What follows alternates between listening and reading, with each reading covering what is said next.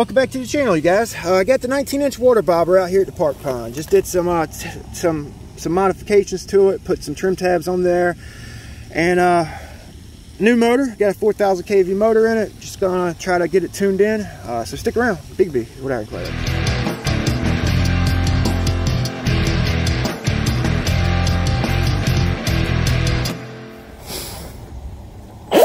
Fortunately, my GPS isn't working at the moment. It's dead, so we're just gonna run this boat. Just trying to get 50 out of it.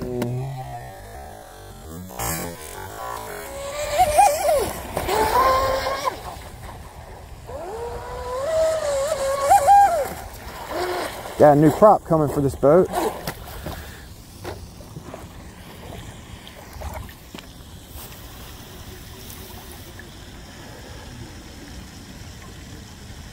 Putting some, uh, quite a bit of down trim on it just to see what it does, you know? Just to see what it does here.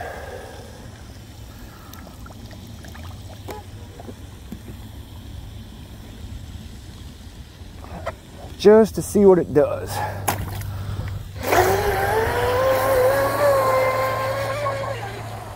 Just pushing it down. Oh, wow. So it did help. Oh, whoa, whoa, whoa.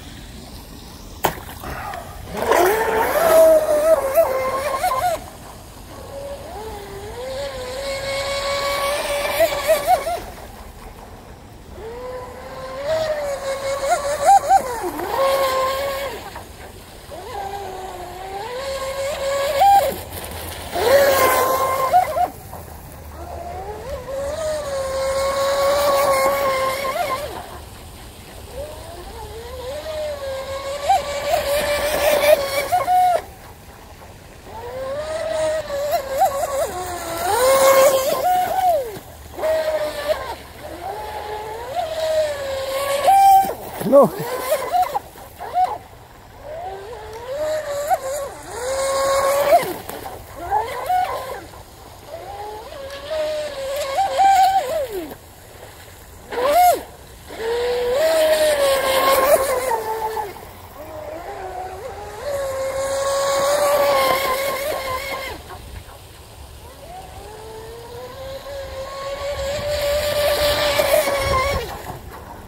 That's her. Got her tuned good. Never mind. Never mind. Yeah, she don't like bump. She don't like little wakes.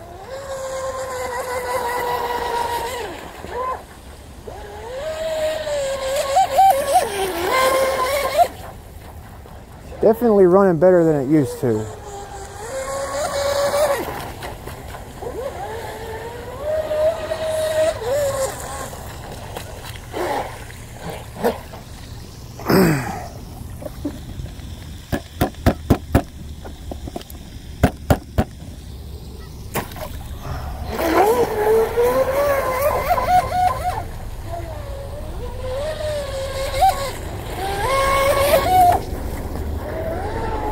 Yeah, she definitely don't like a wake.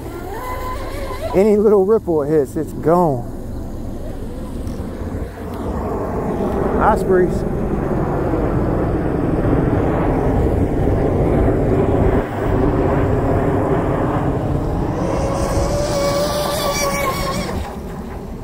Yep, you see how good it ran? You see how good it ran when it was nice and calm? All right, so let's do it again.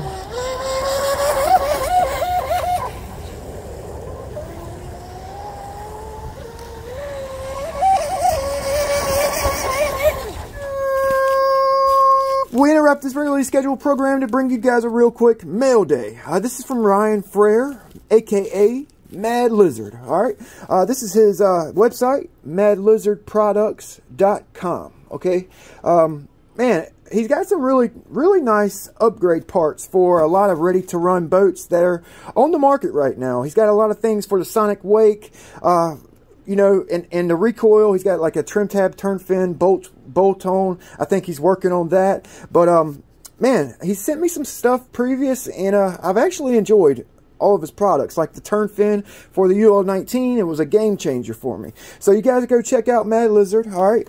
Uh, he's a small, small company. He's just getting started and, and, I'm actually enjoying watching his progression. You know, he just got his website built and, uh, kudos to you, man. I'm proud of you, brother proud of you, man. Need more, uh, need more guys like that in the hobby. Um, speaking of stickers, I'm actually working on mine as, as we speak. So I got some more stickers here. Okay, so um, this, it, oh, I like the packaging. That's nice. So these are actually a set of turn fins that he's he's making. Okay, uh, stainless steel, CNC cut turn fins for the Sonic Wake. He actually sent two sets of Sonic Wake turn fins. And um, I appreciate it, man. Uh, I may not put these on right away because I'm actually I actually like the turn fins I have on my boat. I got an upgraded set, but I definitely will put them on, and we're going to give them a you know a test. So um, you know they got a nice edge on them, adjustable. They bolt right onto your stock turn fin bracket. Okay. Um, and this, this, this, this, I needed this because I'm I'm about to start my UL19 build. I, I know I just finished finished it up, but uh, I've got an Oxteen Marine 200 coming for the UL19 with a 4082 uh, brushless motor, and this is a ride height gauge right here. It's got you know 19 millimeters 18, 19, 20, 21, and it's stepped up. You actually slide this under the boat, under the tunnel of your boat, and uh, you know you you uh, you gauge the height of your strut, how how deep your strut is in the water with this gauge right here. And um, you know, I, have been doing it with like uh, these foam blocks right here, and it's been working all right, you know. But this this is going to make tuning much simpler, and it takes a lot of the guesswork out for those of you who have the U19 or hydroplanes, you know, 8 scale, 10 scale hydroplanes. This is, uh, that's awesome. So you guys go check out Mad Lizard products, man.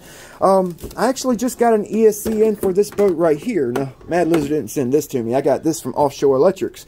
Uh, we're going to be doing a full install. I got this from Offshore. And, uh, I also got some carbon fiber we're going to mount the ESC with. This is the ZTW 200. We're going to run this with the stock motor and then possibly, possibly throw this guy here on it, okay? This 2000 kV or 1950 kV. Shoot, I don't know. I think it's 1900 or 1950. I can't remember. But, um, yeah, this is the seal, so we'll be doing an install on this here shortly. All right, I got actually got quite a bit of new things coming to the channel. You know, uh, you know, new power, uh, and, and, what I like to do, you know, I, you know, I could have spent all the money I spent on all these parts for my boats. I could have spent all that money and got like a freaking TFL Pursuit or hell, I almost could have got a damn like TFL Zonda or something. But you know, I really, I really like making the boats I have now uh, scream. You know, I like to get the most out of every boat I have. Uh, you know, instead of having like 30 boats that are barely hanging on by a freaking thread, you know, underpowered. I would rather have 15, you know, 10 or 15 boats that uh, scream, you know, and run and, and like to perfection. You know what I mean? And tune them to perfection, or at least try to tune them to perfection. so, uh, Ryan, dude, I appreciate it, man. And I actually uh, want to say thank you to all my subscribers. You guys have been amazing. You guys, all my subscribers have been amazing. Uh, thanks for all the support. Thank you for, you know, helping me with problems I've had with my boats. You know, uh, guys have, you know, thanked me for helping them with problems they had with their boats. So, you know, you're welcome. And, um, you know, big shout out to my subscribers, my viewers. You guys have been fantastic. Period. Period. So uh, I appreciate the parts, Ryan. Definitely going to go to use. We're going to be testing them out here shortly. And I guess uh, I'm not going to hold you guys up no more. back to the regularly scheduled programming.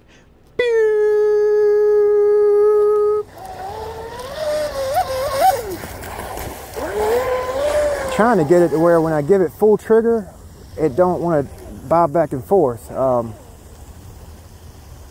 as it sits now, you kind of linear throttle. It's perfect, but but as soon as you give it like a like a hard hard trigger, she wants to do that. Tuning a boat, it takes time. It takes time to get a boat right. You know, you gotta put a lot of time in.